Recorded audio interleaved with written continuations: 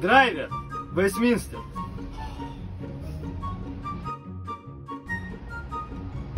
Sir, can you stop? You know, my stomach hurts a bit.